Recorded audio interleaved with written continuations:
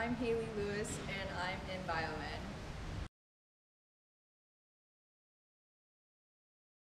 My plans for the future are to go to college and become a physical therapist. My favorite food is probably pasta. I like volunteering.